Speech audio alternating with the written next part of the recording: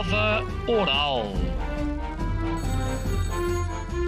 Uma rubrica de Fernando Alvim.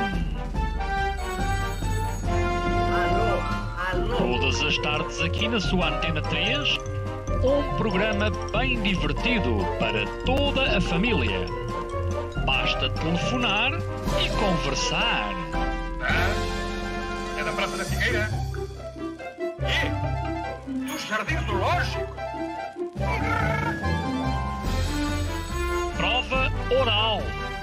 Um programa para gente nova.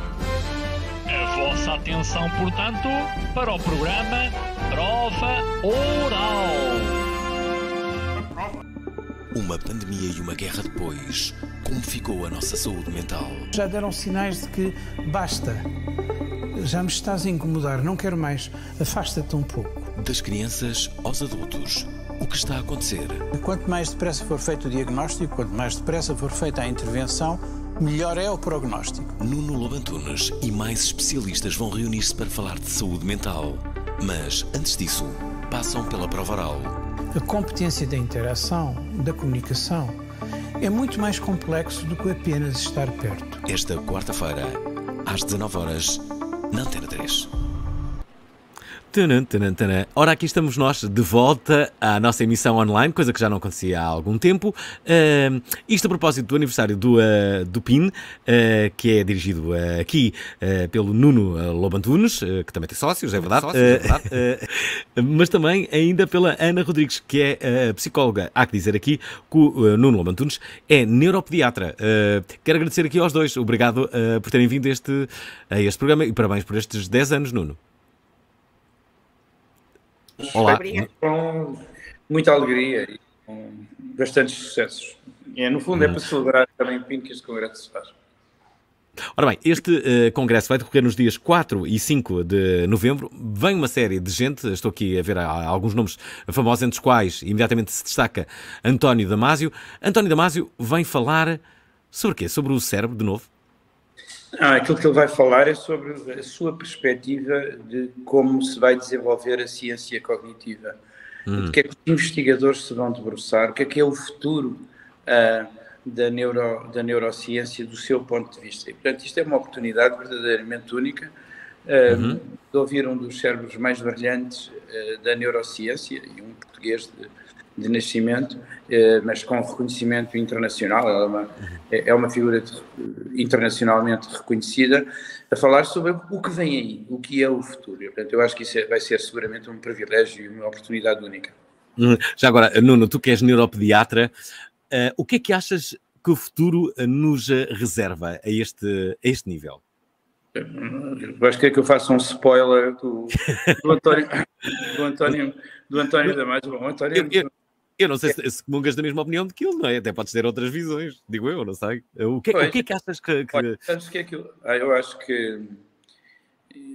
Aparece-me uma coisa, acho que, acho que vamos voltar a olhar também para as humanidades, para a filosofia e para outros capítulos da arte para melhor uhum. compreender as pessoas. Eu não, não tenho a certeza absoluta que a neurociência, só por si, eh, seja capaz. Eh, de eh, compreender a pessoa, o homem na sua globalidade, sem olhar também para outros aspectos eh, mais humanísticos, eh, eu, eu, eu, diria. Portanto, eh, se quiseres, a minha aposta é de que o melhor conhecimento do, do homem virá, virá pela junção da neurociência juntamente com as humanidades. Só assim se alcançará o conhecimento da pessoa no, no, no seu todo. Mas isto é, enfim, é a minha ideia.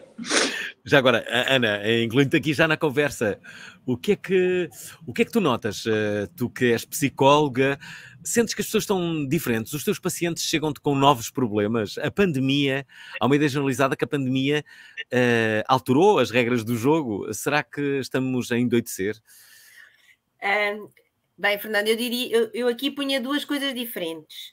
Uma coisa são as consequências da pandemia, sem dúvida, e eu trabalho com crianças pequenas Hum. E aquilo que se, que se, consegue verificar é a quantidade de pedidos de apoio para crianças de idade pré-escolar no pós-pandemia cresceu imenso e por razões variadas, desde questões que têm a ver ou com atraso da linguagem, com atraso do desenvolvimento motor ou com questões da aprendizagem, portanto, aumentou exponencialmente. E eu sou também professora universitária e nestes últimos anos uh, tenho dado conta que às vezes tenho dificuldade em dar referências de alunos para locais de trabalho porque eles estão cheios de trabalho e porque e isso tem a ver com eh, algumas consequências da pandemia. Do outro ponto de vista, estamos todos a ficar loucos. Aquilo que eu, que eu acho, sobretudo na área do desenvolvimento, eu, eu trabalho mais na área do neurodesenvolvimento do que na área da saúde mental, embora estas duas questões sejam claramente ligadas uma à outra, nós não podemos separar as coisas, como dizia o doutor Nuno, e muito bem, não conseguimos explicar o homem numa vertente só, não é? Aquilo que eu dou uhum. conta, ainda esta semana falava com um grupo de alunos do doutoramento, de um doutoramento em educação inclusiva, e aquilo que eles me diziam é, na nós há, sei lá, seis anos, sete anos atrás tínhamos três, no máximo quatro crianças referenciadas numa sala de aula como tendo aquilo que a educação designa por necessidades educativas especiais, agora temos 10 e 11. E, portanto, Bem. eles não nascem debaixo das pedras, não é? Pronto, agora o que é que realmente aconteceu nestes últimos anos para nós termos salas de aula com uma diversidade tão grande de, de crianças num desenvolvimento tão dispar e com uma necessidade tão grande de dar uma resposta muito mais diversificada e diferenciada. Uma pergunta para ambos, e é uma pergunta pessoal. E a vossa saúde mental? Ana e Nuno, uh, com a pandemia, uh, como é que vocês notam? Estão diferentes? Não? Vocês que têm estes mecanismos todos, uh, todos que sabem tanto disto, se calhar, como é que é aquela frase, não é? Em casa de Ferreiro, espeto de pau. não sei, foram afetados ou não? As senhoras primeiro. um, é assim, eu, eu, sou uma pessoa com uma capacidade de adaptação muito grande e, portanto, hum. tenho esta ideia que, se calhar, daqui a alguns anos já não estou a sentir da mesma forma, mas para já, esta ideia de que passei bem a situação. Custou muito a adaptar, eu sou professora e, portanto, a minha vida é também dar aulas e custou-me horrores adaptar à ideia de ter que dar aulas online. Entretanto, e com máscara. Ai não, sem máscara. Aí, não, sem, sem máscara. máscara. E depois um processo ter que dar aulas com máscara, não é? E um Bem. processo misto, às vezes é presencial com máscara, depois é online. Custou-me o processo, mas não sinto que tenha ficado exausta ou qualquer coisa assim do género. Há coisas que eu não gostaria de voltar a fazer, mas se tivesse que as fazer, acho que as fazia, ainda com alguma capacidade de resiliência para as, para as fazer. Agora, noto que, mesmo em termos dos alunos universitários, há muita mudança e, e, e, muita consequência ao nível da saúde mental daquilo que foi fazer um curso universitário em processo de pandemia e dou conta dessas diferenças muito claramente. Nuno, no teu caso? É assim, eu acho que hum, eu tenho, eu sou uma pessoa privilegiada, não é? Tenho, uhum.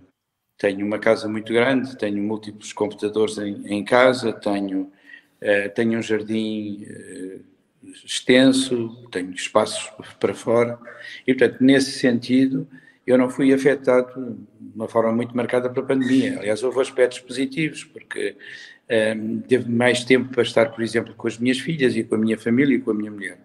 Portanto, sob esse ponto de vista, até houve aspectos bastante positivos. Agora, sou testemunha de, de famílias com menos possibilidades e menos condições para quem a pandemia foi, foi um drama muito, muito significativo e, aliás, uh, com incidência no número de divórcios, no número de, de, de, de, doença mental que subiu e, sobretudo, naquilo que me, que mais me interessa, que é, digamos, eh, que as crianças e o seu, e o seu sucesso, nos Estados Unidos houve um retrocesso em relação às competências no inglês e na matemática em alunos com 9 anos, apagou-se o progresso que tinha sido feito em 20 anos.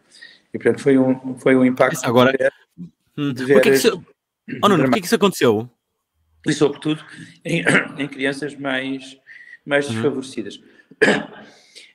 Aconteceu porque, eh, ehm, sobretudo nas classes mais desfavorecidas, a escola, eh, de facto, eh, tem um papel de educação permanente em, em diversos uhum. aspectos que a família não, não pode complementar. Uhum. E ensinar à distância, sobretudo em crianças mais, mais pequenas, não tem nem de longe nem de perto a mesma eficácia.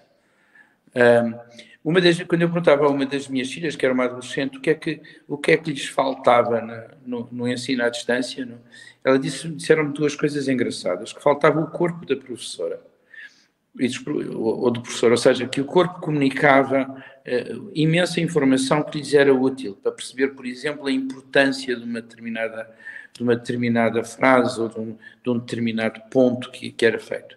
E, e, e disse-me também outra coisa extraordinária que a ti te interessa seguramente, é que faltava o humor. Uhum. Nas, nas reuniões, presumo, faltava o humor, e o humor era essencial para manter a atenção, para manter a comunicação, para, para, para sublinhar um certo aspecto, ajuda na, ajudar na memória subsequente, etc. Portanto, tudo isto são, são aspectos que eu acho são, são muito, muito interessantes e deviam, eu, eu acho que Houve muita coisa má na pandemia, houve algumas coisas boas, mas sobretudo seria uma perda imensa se nós não olhássemos para trás e não avaliássemos e não examinássemos todos esses aspectos, uh, também houve positivos, por exemplo, a comunicação uh, à distância, a utilização da internet como forma de aprendizagem, etc. Uh, de alguma forma, esta obrigação de, de utilizar esses meios deu um salto em frente em termos de, de, de adaptação aos, aos, novos tempos, se quiser. Eh, e eu acho que esse foi um aspecto positivo. Hum. Deixem-me uh, só aqui convocar os nossos ouvintes, mais uma vez, ouvintes da Pravaral, estamos a falar de saúde mental. É talvez o tema mais vezes repetido neste, neste programa, até porque cada vez mais está na ordem do dia. E, ouvintes da Pravaral, temos que aproveitar a presença de um neuropediatra e de uma psicóloga uh, neste, neste programa. Por isso, podem e devem uh, dizer como é que está a vossa saúde mental. E se tiverem alguma pergunta, pois uh, revelem-nos. Uh, vamos fazer aqui uma espécie de terapia de grupo. Podemos fazer a propósito do aniversário do PIN, que faz agora 10 anos, e deste congresso vai ser realizado nos dias 4 e 5 de novembro, será na nova SPE. Uh, 960386272 é a nossa linha habitual do WhatsApp.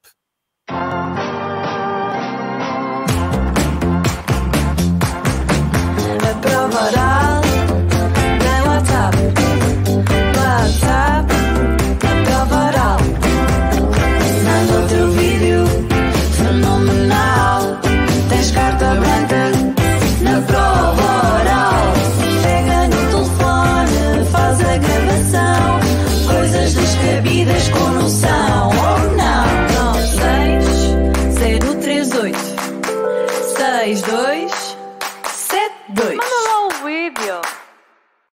Ora está, uh, nossos convidados de hoje, Ana Rodrigues e também o Nuno Lobo Antunes, os dois uh, estão aqui a propósito de um congresso que vai acontecer, já o dissemos, nos dias 4 e 5 de novembro.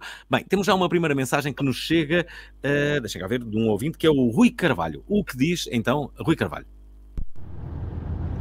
Boa noite aos três. Alvin, gostava Olá. de colocar duas questões. Um, era perceber, por parte dos convidados, se acreditam que a comunidade ligada à saúde poderá ter uma influência direta na possibilidade de criar nova legislação que proteja os trabalhadores uh, no que diz respeito à saúde mental em, específico. Uh, e se sim, qual seria o caminho a tomar para conseguir uh, começar a trabalhar nesse sentido? Eh, é tudo. Obrigado e boa noite. Boa esta pergunta, até porque será um dos assuntos do vosso congresso, não é? A saúde mental em contexto uh, de trabalho. Uh, quem é que quer responder? Acho que agora começa o doutor Nuno. Ah, ok.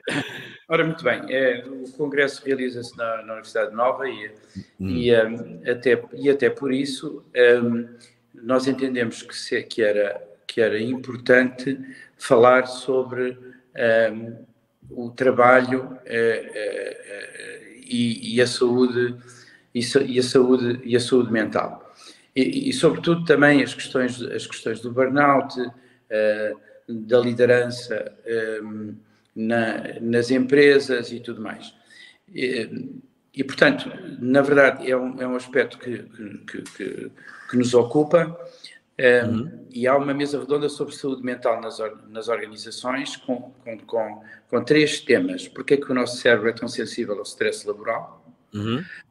Um, depois um outro tema sobre saúde organizacional, mapear territórios. Um, e, e, um outro ainda, está em inglês, Work-Life Balance from the Business Perspective, ou seja, o balanço vida-trabalho na perspectiva, na perspectiva enfim, dos negócios ou das empresas, se quiser.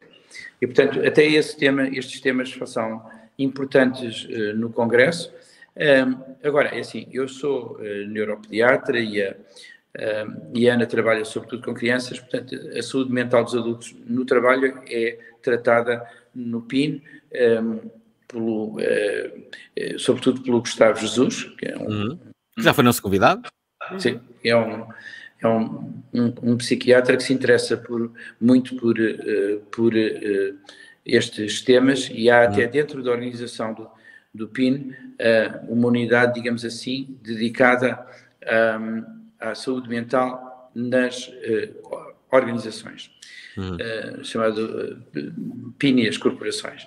Portanto, nós estamos, acho que sim, a resposta curta é sim, acho que os psiquiatras e os técnicos de saúde mental têm um papel muito importante na saúde mental relacionada com o trabalho, sem sombra de dúvida. Uh, agora, acontece que nem eu nem a Ana somos peritos uhum. nesse tema, mas existe, o PIN interessa-se por isso, como organização, uh, e o Dr. Gustavo Jesus em muito particular. Já agora, uma, uma pergunta. Diz, Ana, diz.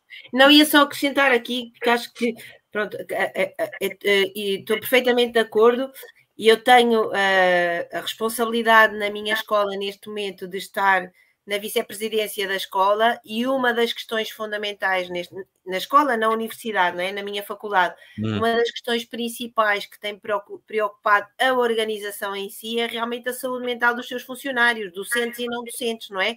Todos os funcionários, porque quer queiramos, quer não, a pandemia efetivamente trouxe aqui questões que as pessoas neste momento estão a tentar regressar e existem muitas questões de saúde mental que têm que ser tratadas e, portanto, eh, todas as organizações vão ter que pensar eh, neste aspecto e, e pronto, e para responder ao hum. Rui e corroborar o que o doutor Nuno disse, sem dúvida que sim, que os profissionais de saúde aqui têm um papel muito importante. Ah, ora, isso é verdade que não é especialista na, na saúde mental, no trabalho, tu és especialista em relação a, a déficit de atenção, uh, normalmente uh, para, as, para as crianças e, e jovens adolescentes, mas também, também para adultos. O, o déficit de atenção também existe.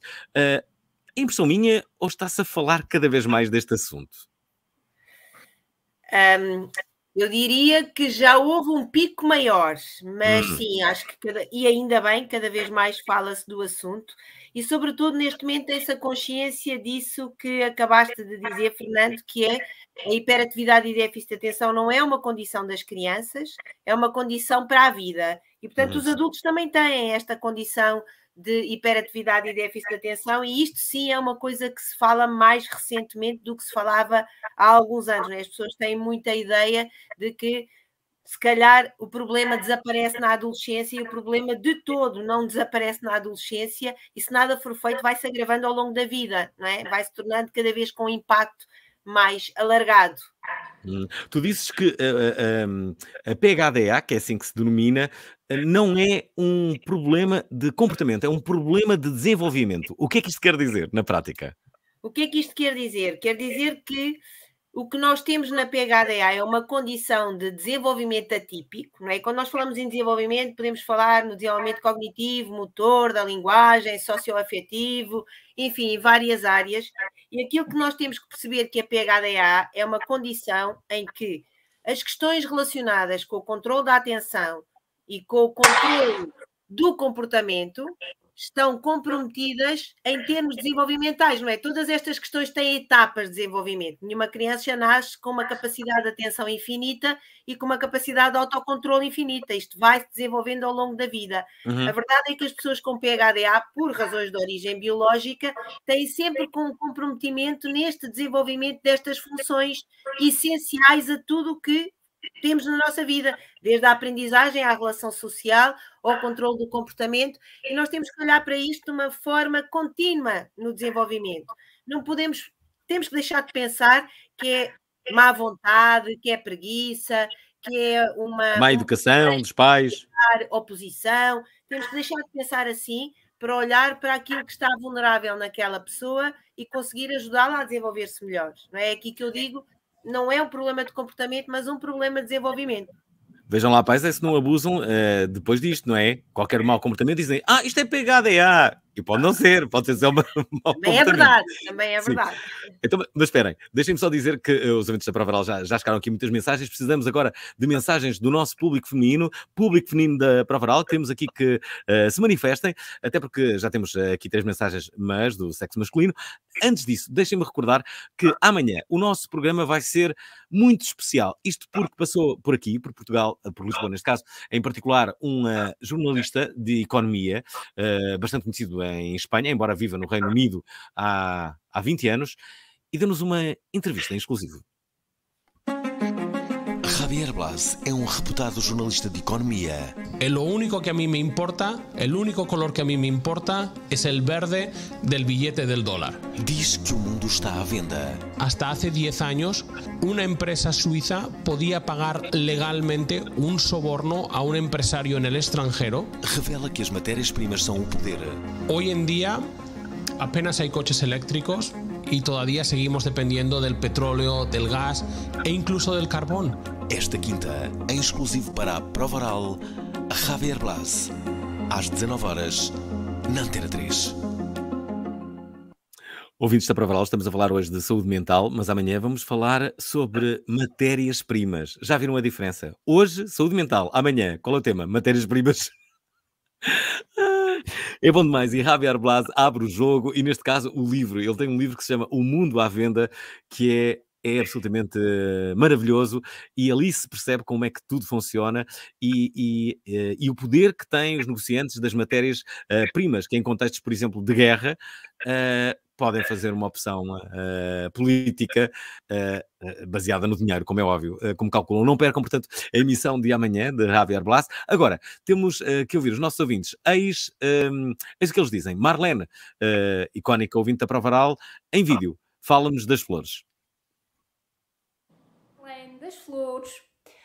O silent quitting não é uma forma de nos protegermos uh, contra o burnout e outros problemas relacionados com a saúde mental e, e o trabalho.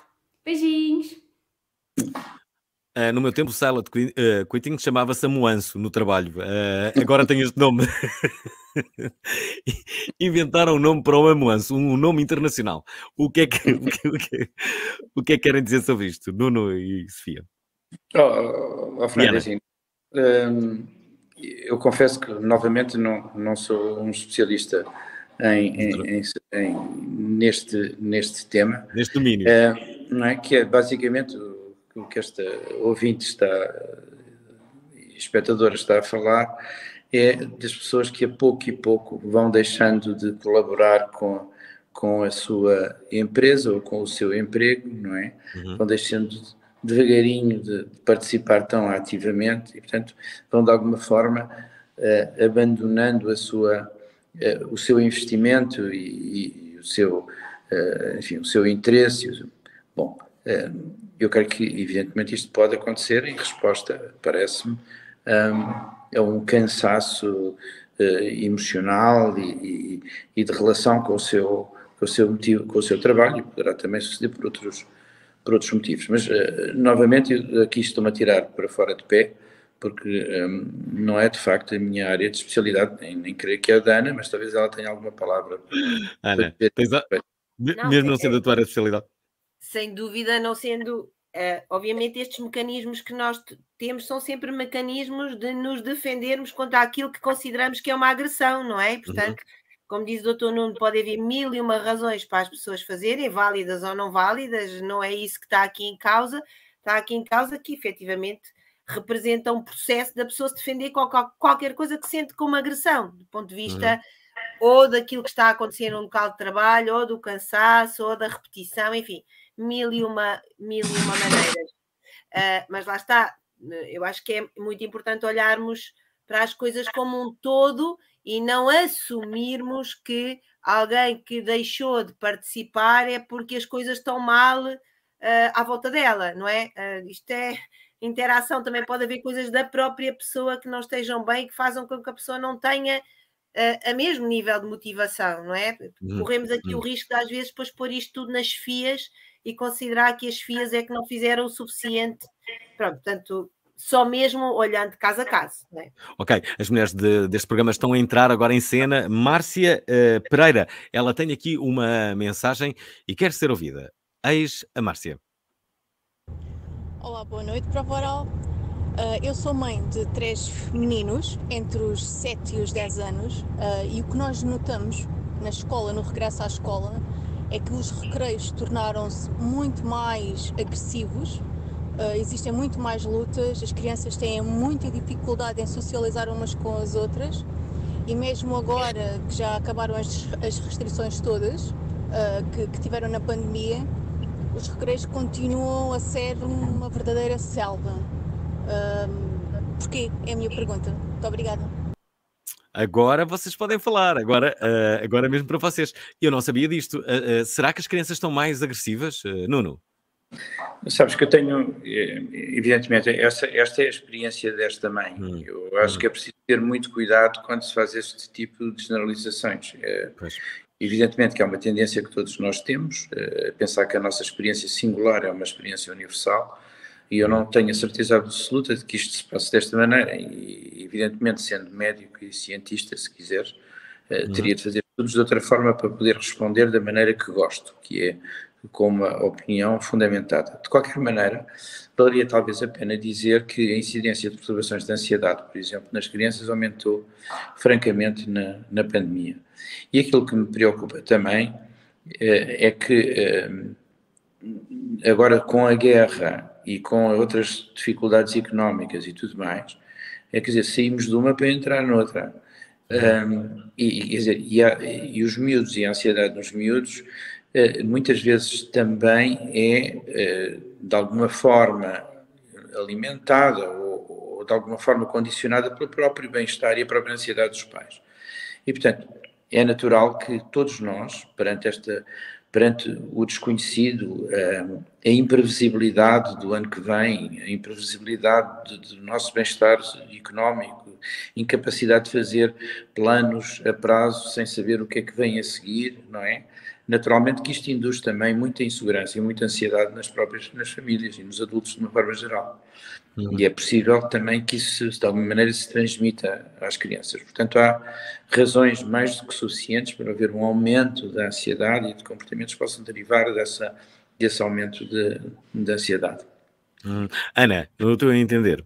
Eu aqui acrescentaria que estes comportamentos que normalmente os adultos identificam como comportamentos disruptivos, não é? A agressividade ou a violência ou a oposição e o desafio têm que ser muito bem olhados para as razões pelas quais eles surgem. E, e, portanto, não podemos assumir à partida que de repente os recreios tornaram uma selva só porque as crianças estiveram fechadas e agora estão mais livres, não é? Que estão a extravasar, mas porque haverá condições de natureza psicológica, emocional e afetiva que podem dar origem a um aumento destes comportamentos. Eles são a expressão de condições de vulnerabilidade que as crianças podem estar de alguma forma a mostrar e que não são fruto só delas, não é? Isto que o doutor não está a dizer, é fruto de muitas condições.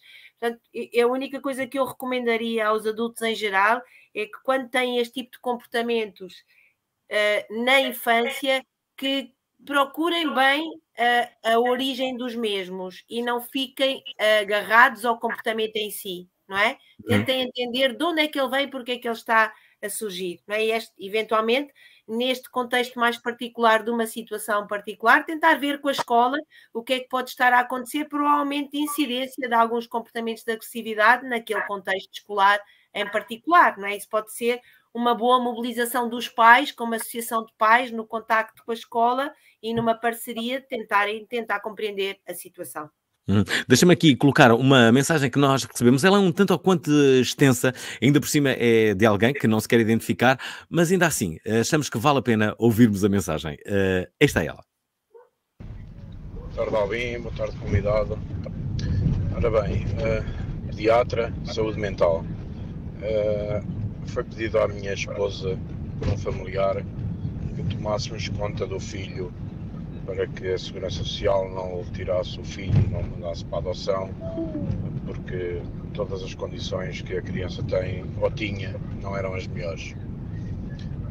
a, a, pessoa pediu, a minha mulher falou comigo e, e eu disse que sim, que te apoiava em tudo e que ajudava a criança. A criança veio cá para casa, nós melhorou bastante na escola, as coisas estão mesmo a correr impecáveis. Um, agora, nós temos que ir a tribunal quase dois em dois meses para, para tratar de, de, de se a mãe tem ou não condições para estar. Atualmente já nos fizeram a pergunta se nós queríamos ficar com, com o miúdo. Uh, e eu, eu, eu disse, uh, eu, eu não queria ficar com o miúdo, eu queria que o miúdo estivesse com a mãe e que a mãe tivesse possibilidade para estar com o miúdo. Mas não havendo essa possibilidade, epá, pronto, nós, nós temos que zelar por melhor daquela criança. O filho não é meu, mas, mas é assim. E depois, uh, nós recebemos uma ajuda de 200 euros do, do Estado para, para, para cuidar da criança o mesmo Estado me obriga a levar a criança a um psicólogo, embora nós, segundo o psicólogo, estejamos a fazer um bom trabalho, tem que levar o psicólogo duas, quatro vezes ao, ao, ao, ao levar o miúdo ao psicólogo quatro vezes e vão os 200, não, vão 200 não, é mais 200 euros, além, o, o, o que o Estado dá, é que o Estado dá e obriga a que nós gastemos logo o dinheiro em, nos psicólogos. Eu não estou a dizer que eles não são necessários, eu só estou a dizer é que há aqui qualquer coisa que não bate certo e assim, assim fica difícil, mesmo que nós queiramos fazer bem e ajudar alguém, fica mesmo difícil. E eu não vou virar as costas àquela criança, eu adoro aquele miúdo. E o miúdo vai, se tiver que depender de nós, vai continuar connosco, vai seguir a sua escolinha, vai se formar e há de ser alguém na vida e há, há de há de olhar para trás e, e ele não precisa de, de, dar nada, ele só precisa é, ele, a única coisa que ele não precisa dar é o bom comportamento na escola, as boas notas e, e ser o menino simpático que ele é e adorável que ele é. Agora, uh, é, é, esta situação, recebes 200 euros como ajuda, mas o mesmo a mesma pessoa que te dá os 200 euros diz que tu tens que ir uma vez por semana ao psicólogo gastar 60 euros. Isso dá 240. Uh, quer dizer, eu não vou virar as costas à criança por causa de, disso, mas uh, isto é um bocadinho estúpido só, mas, mas pronto, eu não quero mais dinheiro, eu não preciso mais dinheiro, eu só quero é que digam assim, pá, se a criança está bem não precisa de ir ao psicólogo, porque a criança está bem, mas pronto, yeah, whatever, eu, desculpem, estou um bocado, foi longo demais isto, eu não, desculpa Alvin. Olha, eu gostei muito deste desabafo e parabéns uh, por isso. Obrigado, ouvinte. Querem comentar, Nuno e Ana? Bom, eu não, quer dizer, vamos ver, eu não. Já, já, já estou como os políticos, eu não, não comento casos individuais. Não, não, não, não faz sentido, não é ético, não, não coisa nenhuma. Bom, nós, não, enfim, podemos sentir, obviamente que se passa aqui, mas todos estes casos são de uma complexidade tal uhum. e, ao mesmo tempo, exigem, uh, exigem um certo um respeito pela, uh, pelos, pelos dados pessoais e pela individualidade, etc., que não, não podem ser nem devem ser discutidos de, uhum. em público desta maneira. Agora, uma questão apenas esta, de que estas crianças necessitam seguramente de apoio emocional e de, e de, de acompanhamento, isso parece-me parece evidente. Uh, se ele é fácil de fazer uh, num serviço público onde este senhor não, não gaste o abono que lhe é dado, uh, e se isso é fácil, é uma, é uma, outra, é uma, outra, é uma outra questão. Uhum. Mas evidentemente que, que necessitam de acompanhamento próximo, não é? Todos, penso que a família de acolhimento também, e de uhum. aconselhamento e tudo mais. Portanto, este trabalho do psicólogo é seguramente necessário. Uhum. Isso eu não tenho dúvida nenhuma. Ana, queres dizer mais alguma coisa? E só acrescentar que, embora não, não está aqui minimamente em causa o excelente trabalho que esta família está, está a fazer, não é? E possa estar a fazer, esta criança tem uma vida para trás que, de alguma forma, tem que ser toda reestruturada, não é? Para que a vida dele daqui para a frente possa continuar a correr bem como tem corrido até agora. Portanto, de todo desvalorizar ou pensar que o trabalho de um psicólogo ou de um terapeuta possa não ser necessário. Pronto, independentemente uhum. de que efetivamente é muito difícil para nós podermos opinar acerca de situações que não são da nossa uh, confidencialidade e, portanto, que nós não conhecemos, nem ético, nem, nem, nem correto, nem possível, não é? Não temos capacidade nem dados para dar opinião sobre o assunto. Uhum. Olha, deixa-me só dizer que uh, temos aqui mais ouvintes que querem falar. Uh, agora é a Suzete Ferreira que, que entra em cena. Olá, boa noite a todos. Um, eu no ano passado dei aulas eh, de, de, História no terceiro ciclo e uma coisa que me apercebi que não acontecia antes da pandemia é que as minhas turmas de, de sétimo e oitavo ano, tinha, nas minhas turmas tinha imensas alunas com uh, problemas de ansiedade e problemas de ansiedade, eh, principalmente no início do ano, que hum, perguntando às alunas o que é que se passava, elas não tinham uh, resposta nem motivo para o que estava a acontecer. Foi uma questão que me preocupou bastante, até porque inicialmente pareceu-me que as escolas não estavam preparadas para isto. Uh, ao longo do ano as coisas foram, foram melhorando nesse sentido, mas uh, assustou-me efetivamente porque também sou mãe de adolescentes. Gostava de saber a vossa opinião sobre isto. Uh, antes de darem a vossa opinião, deixem-me aqui uh, colocar mais, uh, mais duas, duas opiniões, não vossas, mas do, dos nossos ouvintes. cá está, as mulheres a responderem em grande ao nosso repto. A Adriana quer também participar.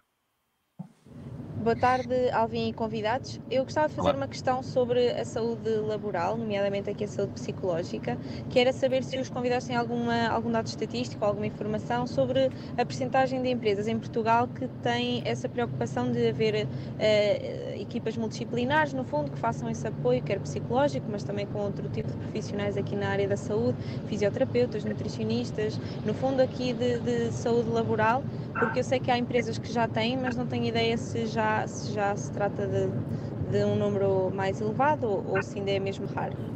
Hum. Bem, vocês são perseguidos Olá, basicamente pela Olá. saúde mental uh, no, no trabalho. Mas calma, uh, há uma outra mensagem que nos chega agora da Andreia Silva. Agora aqui. Olá a todos os convidados. Eu por acaso acabei de ouvir aqui a, a mensagem do ouvinte anterior.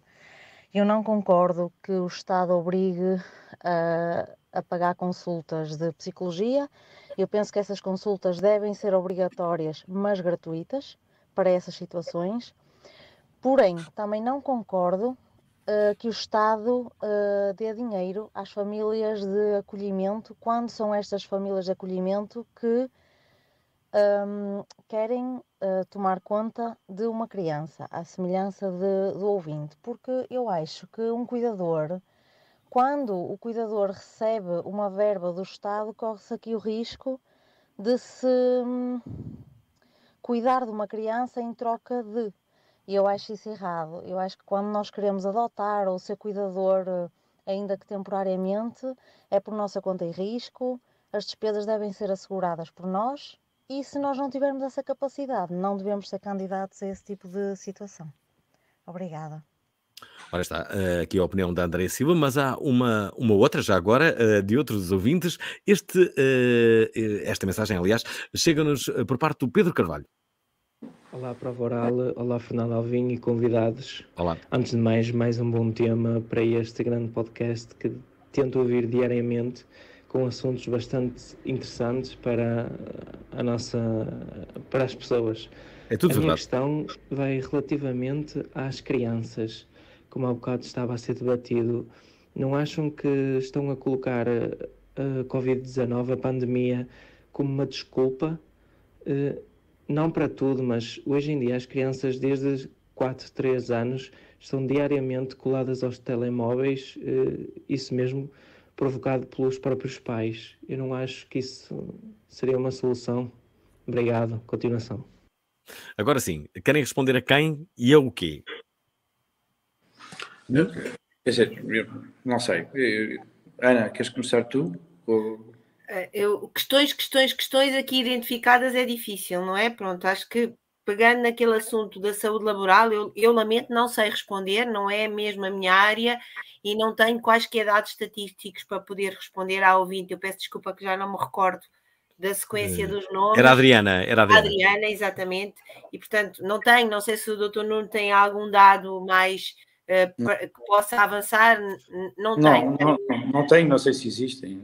Pois, não sei se existem, não é? Tenho esta, esta sensação muito pessoal uh, e tal qual como já dissemos aos ouvintes, isto, quando a nossa experiência pessoal não deve servir para generalizar e só tenho mesmo a minha experiência pessoal para partilhar de sentir que esta é uma área que as instituições e as organizações se estão a mobilizar para dar resposta. Números uhum. e dados eu não tenho para, para responder.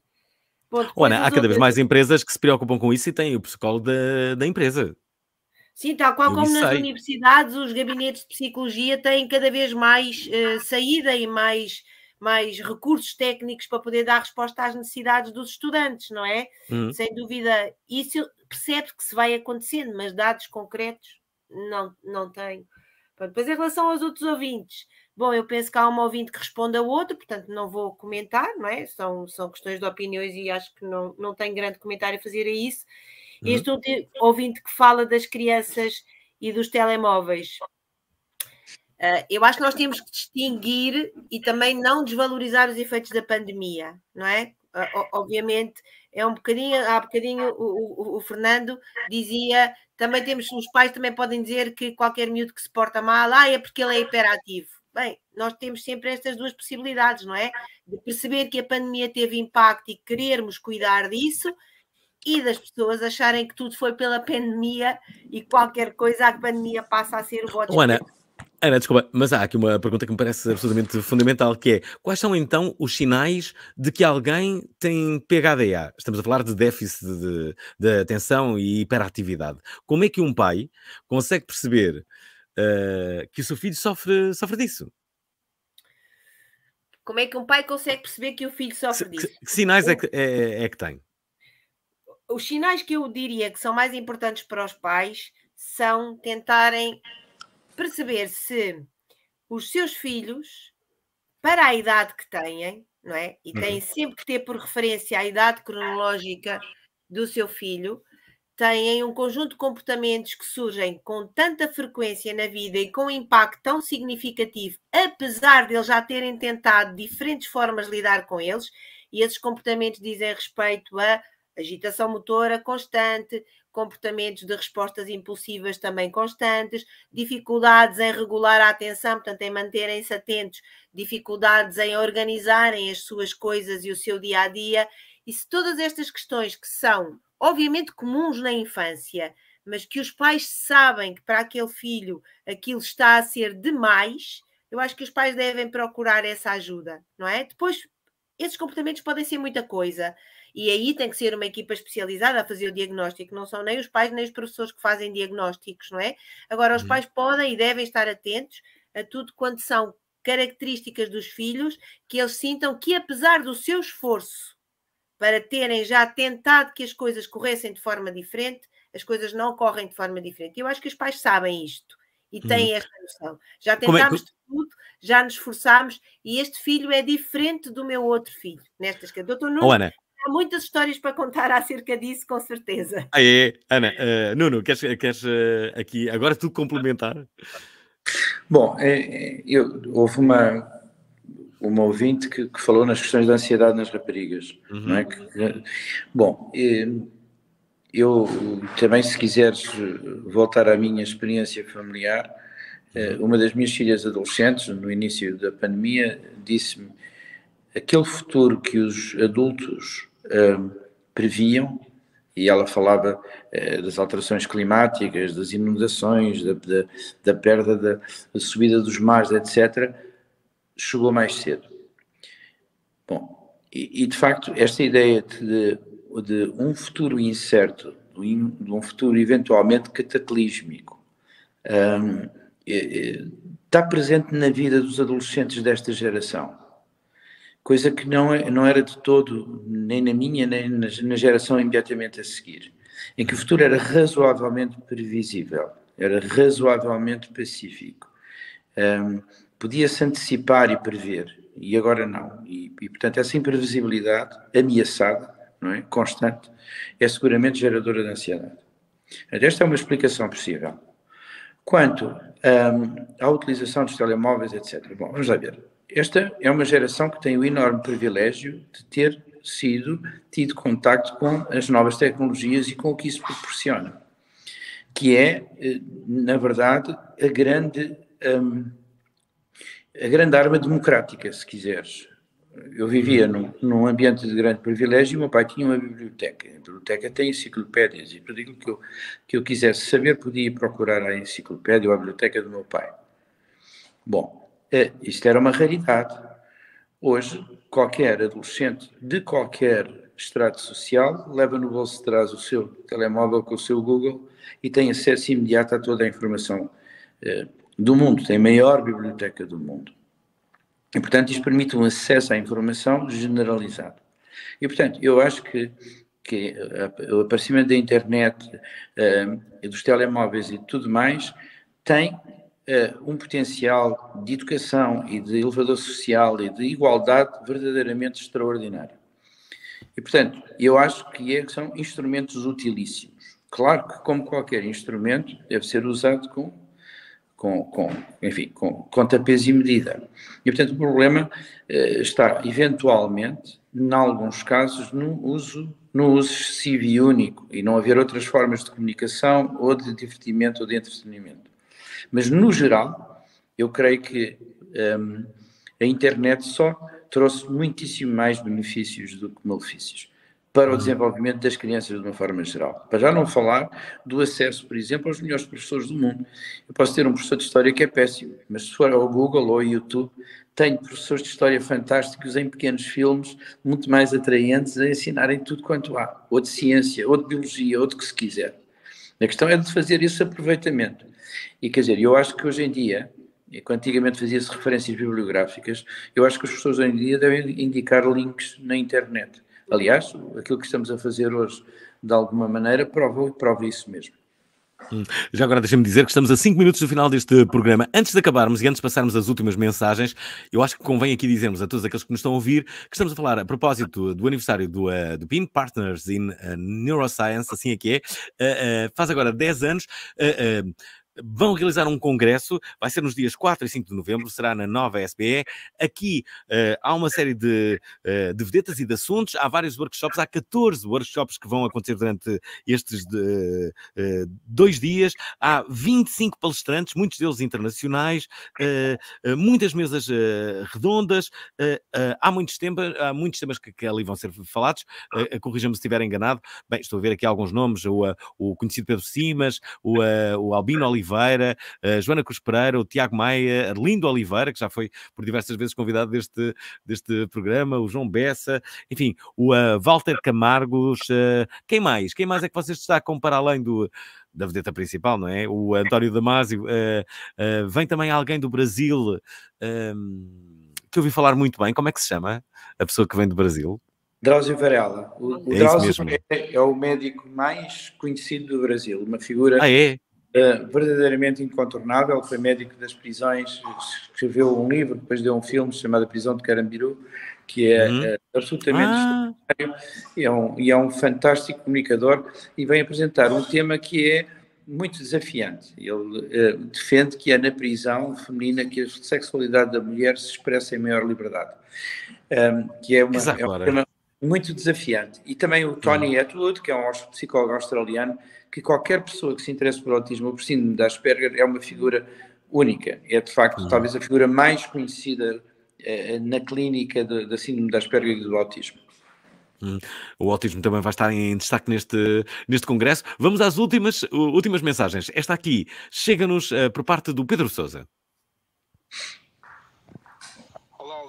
Olá, doutores e investigadores, olá, auditório. Uh, gostava só de deixar aqui uma opinião em relação a esta problemática da doença mental, independentemente de serem crianças ou adultos, uh, que é uh, o, o, problema, para além da doença em si, que estas pessoas têm com a falta de compreensão, falta de aceitação das pessoas à sua volta, sejam elas amigos, familiares, colegas de trabalho, chefes. Eu acho que este problema podia ser, em parte, mitigado se as pessoas que não sofrem de doenças mentais fossem um, expostas a, a, esta realidade. Ou seja, se lhes fosse uh, promovido o contacto com pessoas, com doentes e perceber o que é que isso implica na realidade de cada um. Porque muitas vezes, como eu acho que já foi aqui falado, às vezes a pessoa que tem um problema mental é julgada como, como, como tendo um problema de caráter e, e não um problema uh, de saúde, uma coisa que advém do seu desenvolvimento e não da sua uh, formação. Bem, era só isto. Um abraço. Muito, muito bem, aqui o Pedro Souza, mas há uma outra mensagem antes mesmo de acabarmos este programa. Esta chega-nos da Sílvia Cassiano. Olá, prova oral, olá Alvin, olá convidados. Pois bem, olá. Uh, não podia deixar de expressar aqui a minha opinião, saúde mental, laboral principalmente. Uh, as multinacionais, a maior parte, têm implementado um, o cuidado da, da saúde mental no trabalho, nomeadamente através de inquéritos, e esses inquéritos revertem numa consulta de psicologia no contexto de medicina do trabalho. Contudo, acaba por ser uma pescadinha de rabo na boca, porque quando é detectado uh, alguma situação complexa, porque são empresas com muitas chefias, muitos lobbies, muitos interesses que que depois acabam por, por refletir nos que estão abaixo. As pessoas que são detectadas uh, acabam por não querer, embora vão a essa consulta de psicologia, acabam por não querer avançar com o processo junto do RH e dessa detecção uh, por medo de represálias. Portanto, uh, acaba por não darem nada, como é uhum. óbvio. vão continuar mentalmente doentes. Beijinhos! Adoro. Uh, o que é que querem dizer aqui para o, para, para, o final do programa? Estamos mesmo, mesmo no final. Uh, Nuno e Ana. Olha, eu, eu diria para, para, terminar que o PIN faz muitíssimo bem em se dedicar também à, à questão de, de, da saúde laboral, por aquilo que estou a ver, e, e ainda bem que no Congresso também uh, entra este, este, este tema, entre muitos outros, PHDA, uhum autismo, sexualidade, terapia de casal, enfim, tudo aquilo que tem a ver com a saúde mental é, está expresso e eu convido as pessoas a irem ao site do PIN, pin.com.pt e procurarem o programa, de certeza que vão ficar interessados ou conhecem alguém que poderá estar interessado. E obrigado por esta oportunidade. Uh, Ana, para o final. Uh, só comentar aqui, em, em, jeito de terminar e, e, com o que esta ouvinte acabou de dizer, o grande problema às vezes é que nós achamos que estamos a trabalhar em saúde mental e está-se a trabalhar é no controle da doença mental, não é? Que é este exemplo que acabou de dar, porque uma empresa preocupada com a saúde mental preocupa-se com o bem-estar de todos os seus funcionários na tentativa de prevenir estas questões mais específicas, porque depois, se não acontecem estas, estas situações que acabam por poder ser complicadas. E juntando ao que o outro ouvinte disse, a saúde mental ainda tem muito estigma associado, não é? E este é também um assunto que eu penso que no Congresso do PIN de alguma forma vai ser abordado, que é esta ideia do estigma e da maneira como as pessoas ainda olham para as questões do neurodesenvolvimento e da saúde mental, atribuindo juízes de valor àquilo que é a natureza do funcionamento de muitas pessoas. Mas nós estamos aqui uh, justamente para combater esse estigma que ainda existe e por isso esta missão foi feita, uh, não só por causa disso, mas também para vos dar os parabéns uh, pelos 10 anos de, do PINI e por todos estes extraordinários convidados que dias 4 e 5 de novembro vão ocupar a nova SBS. Se quiserem saber todo o programa, ele está disponível em pin.com.pt. Obrigado, Nuno. Obrigado, Ana. Amanhã, não percam, Javier Blas, o nosso convidado espanhol que vai falar, imagine, sobre matérias-primas. Acreditem que vai valer a pena. Obrigado, Nuno, e obrigado, Ana. Até amanhã. Javier Blas é um reputado jornalista de economia. É lo único que a mí me importa, el único color que a mí me importa es el verde del billete del dólar. Diz que o mundo está à venda. Hasta hace 10 años, una empresa suiza podía pagar legalmente un soborno a un empresario en el extranjero. Revela que as matérias-primas são o poder. Hoy en día apenas hay coches eléctricos y todavía seguimos dependiendo del petróleo, del gas e incluso del carbón. Esta quinta